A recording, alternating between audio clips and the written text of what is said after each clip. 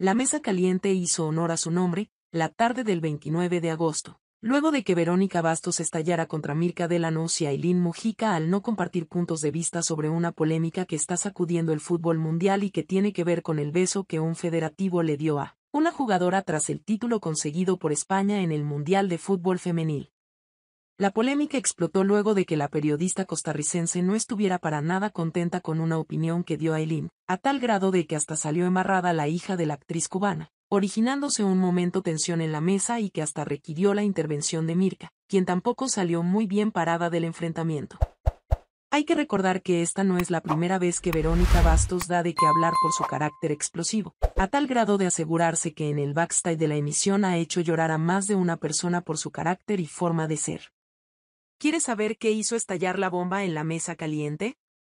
El beso que Luis Rubiales le dio a la futbolista española Jennifer Hermoso, durante la premiación del Mundial Femenil, fue tema de debate en la mesa caliente, donde hubo quienes consideraron que todo se había hecho más grande de lo que en realidad fue. Sin embargo, también estuvo la postura de Verónica Bastos, quien encaró a Aileen Mujica por minimizar lo sucedido.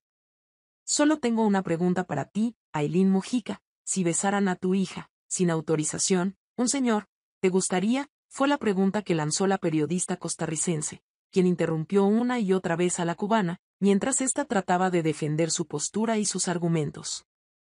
Aunque Verónica Bastos no la dejaba hablar tras la pregunta que le lanzó, Aileen Mujica intentó defender su sentir sobre el escándalo que se está viviendo en España, luego de que insinuara que hay asuntos más importantes que atender en el fútbol de aquel país. Vero, escúchame, tenemos que analizar la situación.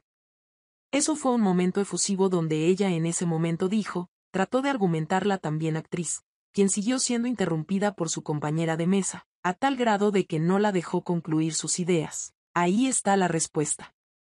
Nadie te puede besar, remató Bastos ante el silencio de Aileen.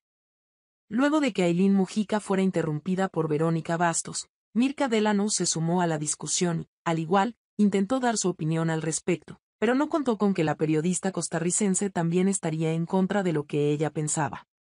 Puede ser también que no te guste, pero que no pienses que lo que se le está haciendo a él tampoco es justo y ahí el balance, compartió Delanos, quien también fue interrumpida por su compañera de mesa. Si él hubiera pedido disculpas, desde el primer momento, y hubiera dicho, lo siento.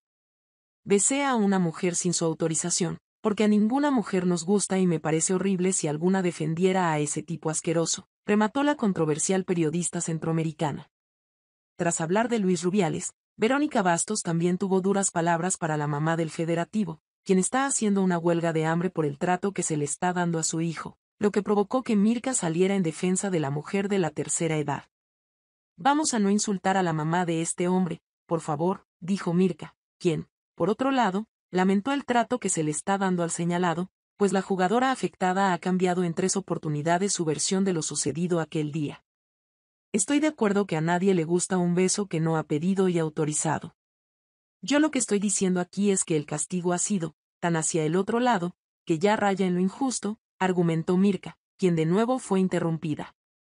Tras lo anterior se produjo otro momento tenso cuando Mirka Delanos le suplicó a su compañera que no pusiera palabras en su boca que ella no había dicho, luego de que la costarricense le asegurara que ella apoya ese tipo de prácticas contra la mujer. Verónica, estás cambiando mis palabras. Yo dije no me gusta que me besen así. No me gustaría que besaran a una persona querida mía. Ahora, creo que está incorrecto de su parte, pero el castigo se ha ido más allá y tenemos que tener en cuenta quién es este hombre, cómo ha actuado en el pasado, lo que ha traído para el partido y que la reina Leticia estaba al lado de él y ella no ha alzado la voz, remató Mirka.